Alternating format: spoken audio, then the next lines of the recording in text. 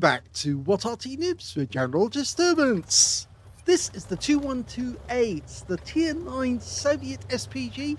This one's located on the north spawn of El Halluf, and it's under the command of Angelina 75 of OLIMP. And she's in a contest this week to win the Weekend Lion. She won it last week, she really enjoyed it, and now she's trying to win next week's. Game on! Where you can see from the number of achievements on the side of the vehicle that Angelina is no spring chicken. She actually knows how to use this vehicle exceptionally well, and yeah, she's had fantastic results. You see there, she's got the second mark on the Ace Tankers, third mark on the Reaper, and God knows which mark that is on the other side. Yeah, so um, she's doing rather well.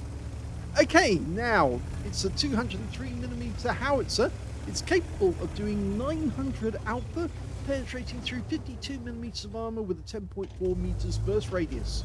Angelina is at this moment focusing on the enemy enemy, the only enemy she can see, which is a CS-63 who's made his way up this side. She's lining up the shot ahead of his path. Oh, perfect! 389 hit points and he goes down.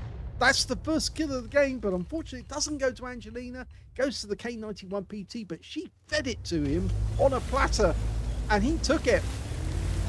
It was Angelina's shot that stripped him of his hit points, made him vulnerable, and Angelina's changing position to avoid counter battery. Yes, we do know there are people cheating. but we now know that there are a lot of players who are actually using Red Ball to work out where enemy RT are, so you do have to move if you want to avoid counter battery. Ordinary RT players don't use, uh, well, good players don't need to use Red Ball. Rouse out the 50 TP. It hit the battlement, so unfortunately she didn't get that one. Yes, good players like Angelina don't even need to use Red Ball because what we do is we actually play normally. We just work out where the enemy is from the tracer. But there are some players out there who are cheating. I'm not going to name names, but I am going to say that there's an awful lot of very, very peculiar replays. Anyway, let's have a look at this CC1 Mark II. Angelina's dialed in, fully dialed in, ready to go. Rounds out on him, he turns, takes a hit in the side for 102. All it takes is a small movement, one direction or the other, and it'll throw off the enemy. They are cheating by using red ball, it's going to show them a different position for the arty when it last fired. So by doing what Angelina's doing, she's avoiding him getting a chance to get a shot at her. Okay, lining up the hits. Just waiting for the reload to complete. 30.11 the reload time that Angelina's got. She got another hit for 374. And she got stun assist off that one as well. The standard reload, 37.39 seconds. So she's actually reduced it by at least seven seconds to start with. Okay, well, the enemy seems to be uh, pushing in the northwest corner. Angeline's lining up a shot on a Leopard prototype. Now, she can hit that guy. She'll more than likely penetrate him because she's got very thin armor. But he's going for the front Sorrente. Oh, she got him as well. She hit the rear of the vehicle, stunned him, and he did take some damage, 365. So it's a fast-moving battle, Angelina's well up for it. Okay, Hori 1, next target. Now, she's seen this one in the videos on our channel, so she knows the Hori 1 is a bit like the Jaegeru in many ways. She's going to go for the 50 TP. She's almost fully loaded. Rounds out straight away. Another direct hit. This time it's 280.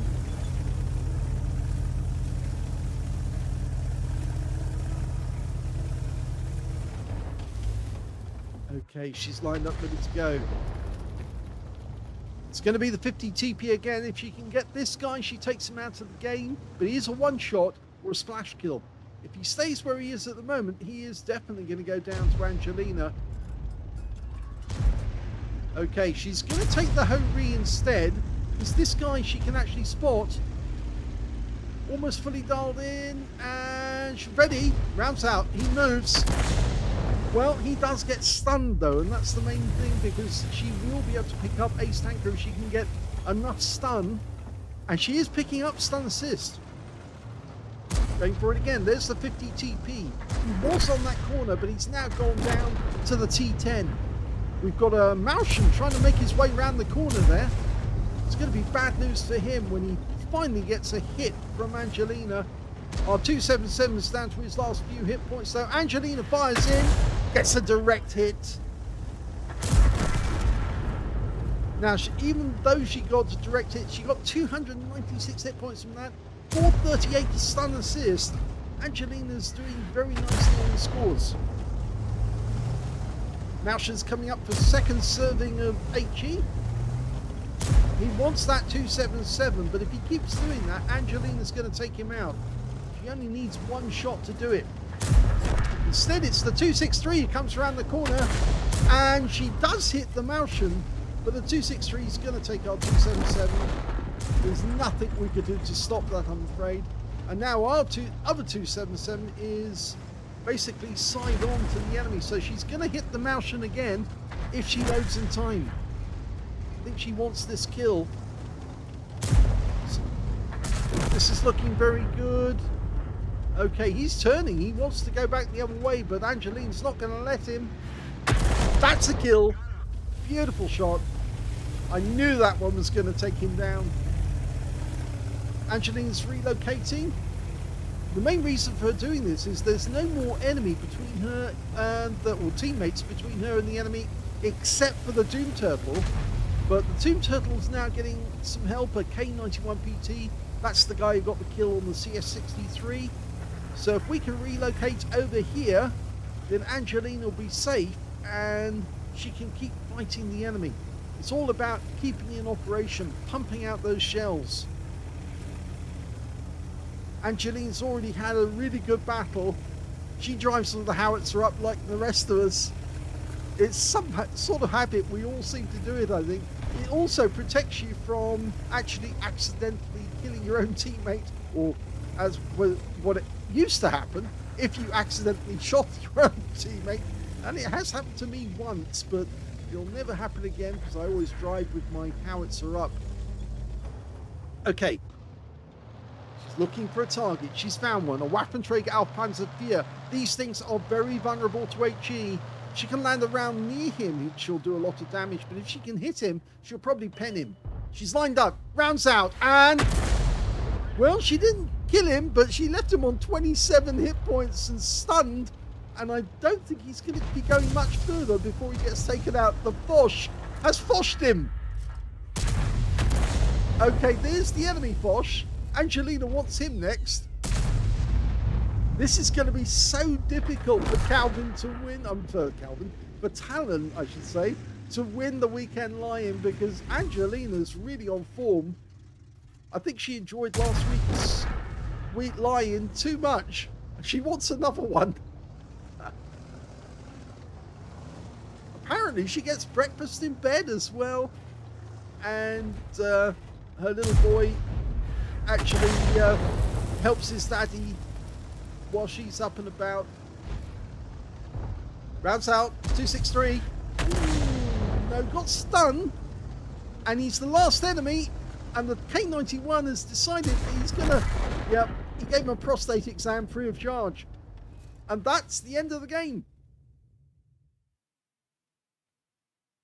Here's the end of battle results, and that was the first class tanker for Angelina 75 in the 212A. She managed to get a Bruiser medal for getting at least five critical hits. In fact, she got five exactly.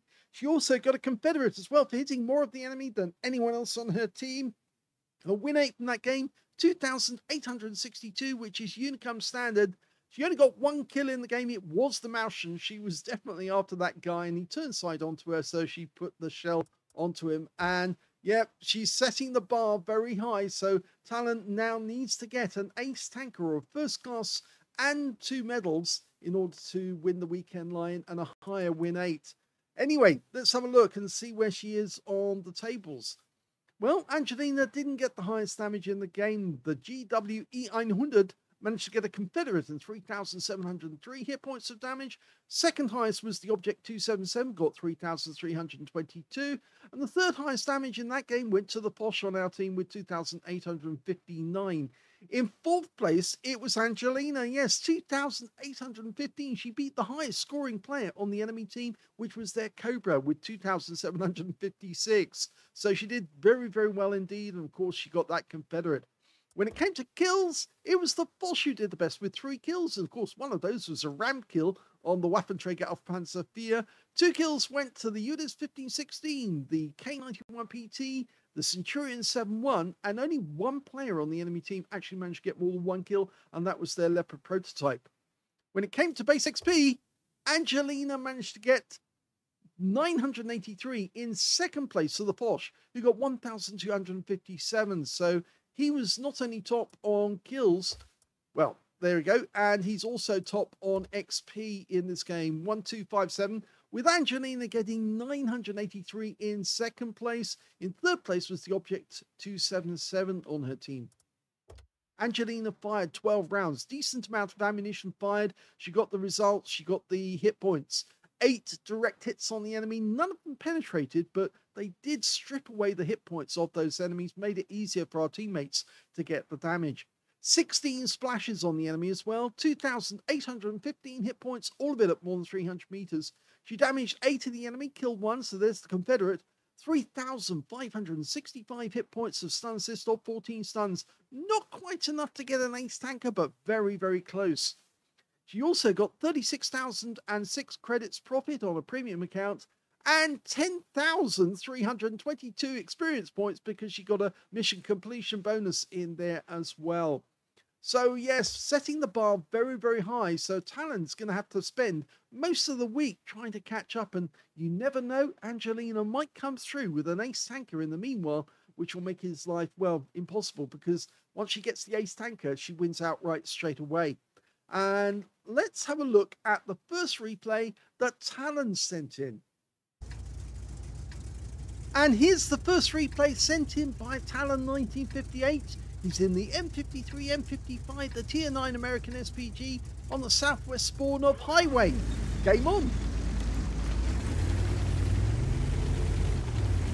Okay, he's got a Tier 10 game and he's Tier 9 RT, so he's going to get extra XP for all the tier 10s that he hits in this game.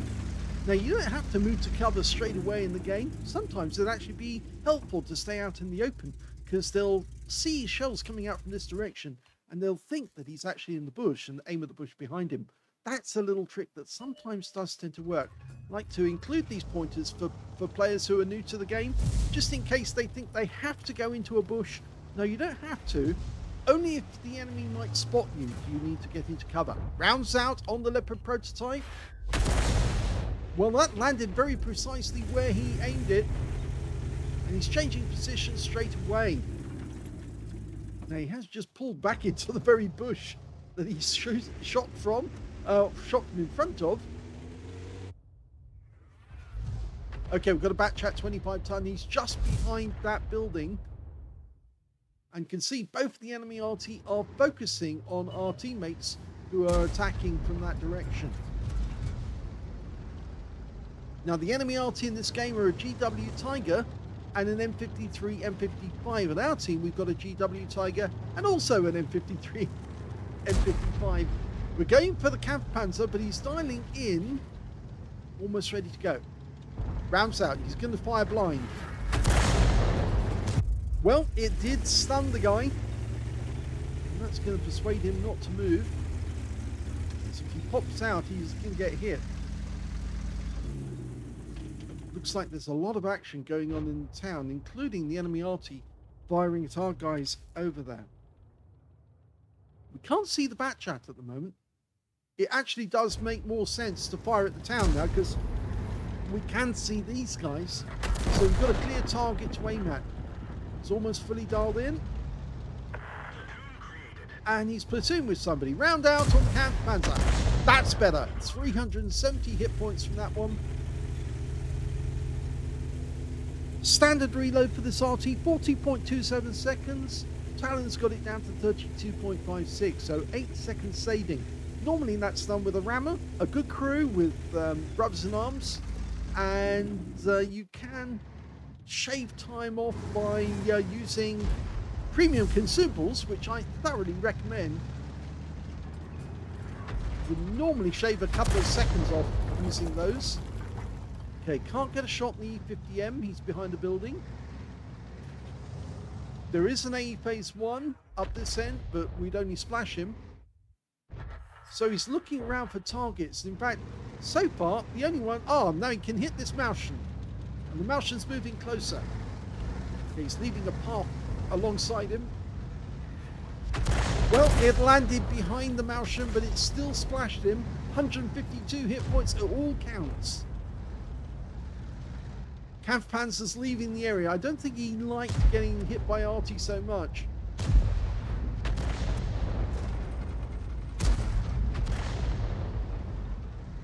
Okay, the enemy of um, our teammates, rather, found the Batchat up in the north.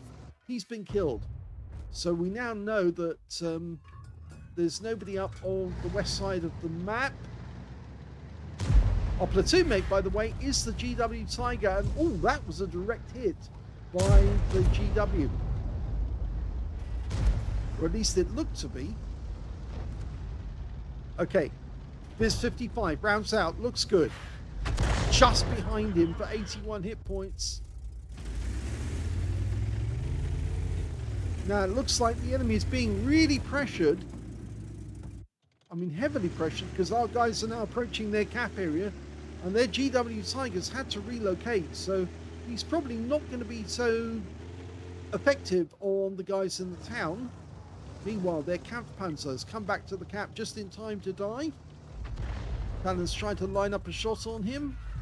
And that was a direct hit by somebody. And our shell exploded right in front of him.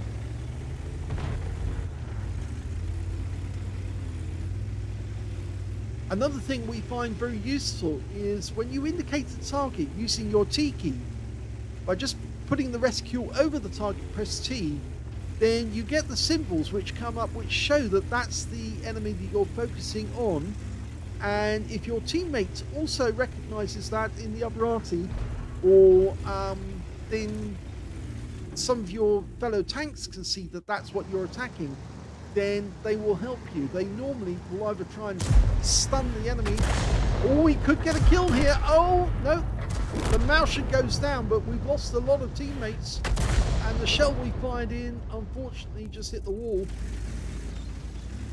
So we've got nobody left in the town, but we do actually have a chance of capturing the enemy cap area. We're two down on the enemy at the moment, but they're being pressured around their own cap. In the meantime, our Skoda is making his way back, and you can see Talon's using his W key to position himself so he can stay in the fight and keep laying those shells in. Okay, he's loaded, ready to go. He just needs the target, and he's found one. It's the Object 261. Now, can he line up a shot on this guy? That's it. Rounds out, looks good lands right next door to him and he goes down to the very next shot which actually came from our Batchat 155.58 sorry there was three RT on each team. Okay there's the GW Tiger. He's knocked the trees down to provide himself with cover but he's also providing Talon with a perfect target that he can go for. We're almost loaded. This could be a kill shot if he gets it in the side. Ready Rounds out. Yep, that's a kill. a blind kill at that. So, at last, Talon's got a kill on the board. He's also picked up a fair amount of hit points already, but he's by no means actually getting as many hit points as Angelina did in her 2-1-2 game. I'm afraid this map does not help people on the southwest spawn when they're firing at the town, I'm afraid. I found it difficult as well. Fires the round in. Going for that Kampfpanzer. Now he doesn't want to get too far over to the east because there's a CC-1 Mark II and you can see that now. He's trying to change position To avoid the uh, cap area, the CC-1 Mark II is making his way over. He's in a depression in the ground here, so the CC-1 Mark II can't see him and has just got hit. I think he just got hit by the GW Tiger. Okay. We're not loaded yet, but we will be momentarily. He's checking the other side of the bridge. There's nothing there. So he's going to go for the A phase one instead.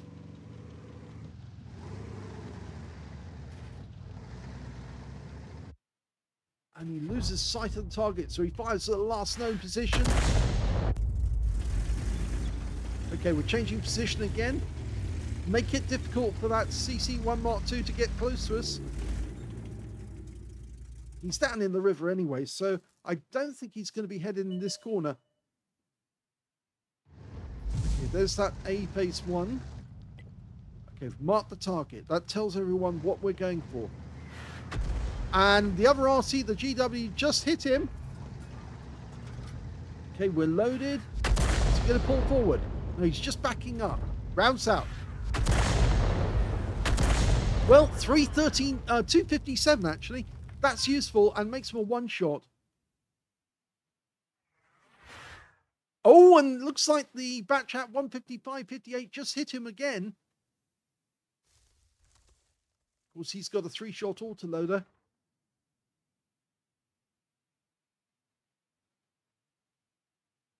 we still don't know where that CC1 Mark II went.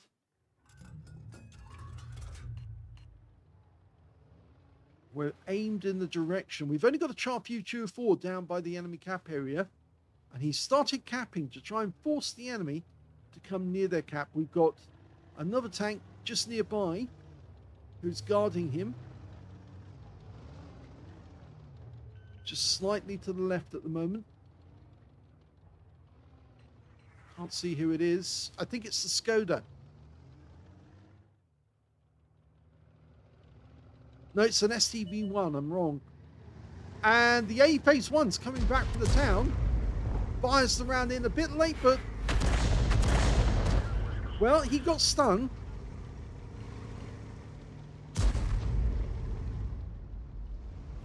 A phase one. Okay, that's the Batchat, I think, firing in. And the STB-1 takes care of the A phase one, which now means there's only four left. Their Char Future 4 is way down in the south. There he is. Oh, unfortunately, he just got a kill on our Skoda. But he's trying to retreat back to the city. Talon fires around in after him.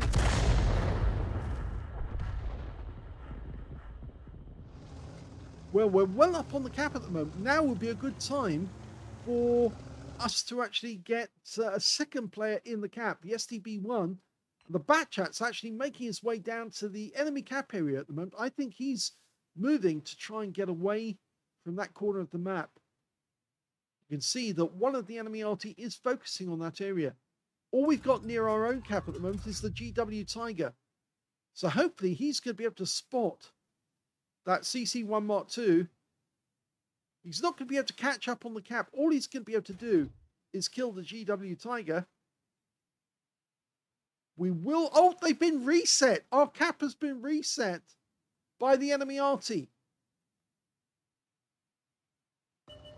There's the CC1 Mark II. We can get a kill shot. Rounds out. Yes! Nice kill. That saves his platoon, mate the GW did take a hit, quite a big one. He's lost all his hit points. Well, most of them. But he's still alive. He's still in the game. And we now outnumber the, the enemy more than two to one. So now will be the time to go to the enemy cap area and help the cap. The enemy definitely does still have an arty. It's their M53, M55. But the more tanks that we put in the cap, the more difficult it is for him to do anything about it. Our GW's hovering on the outs outskirts of our cap area.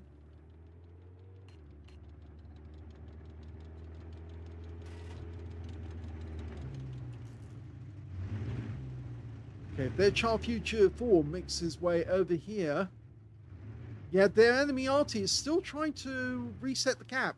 He just fired around him, but I think he's left it too late now because I'm not sure he can actually get another reload in before the Cha Future 4 caps out. So I think we have got this in the bag now. Yep. He just left it way too late. And that's it. We've done it. We've capped out to win.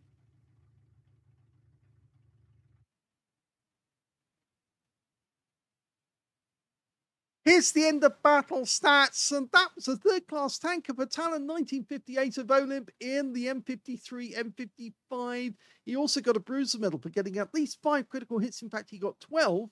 And his win rate from the game was 2,126, which is very good, but sadly, that's not enough to beat Angelina with her first class bruiser and Confederate. So she's still in the lead for the rest of the week until Talon can come up with a better replay. If we look at the team score, we can see that, yep, he um, didn't get the highest damage in this game. The highest damage actually went to the A phase one on the enemy team. 4,068 hit points of damage went to him. Second highest was the E50M on the enemy team with 3,647. And the third highest damage was the Skoda T50 on our team with 3,229. Our Batchat managed to get one 3,207 hit points of damage. He picked up a Confederate and um, we can see that Talon didn't get any medals, but he did get a sizable amount of hit points 1,904. The Cha Future 4 on our team got a Lehvaslaiho's medal and, of course, the Invader, because he was the one who capped out to win. When it came to kills, well, it's actually the E50M who did the best with three kills. Two kills went to the A Phase 1 and Cha Future 4 on the enemy team. And on our team, it was the Skoda T50, the Batchat 155-58, the Cha Future 4, uh, I should say Cha Future 4, because um, yes, somebody corrected me the other day.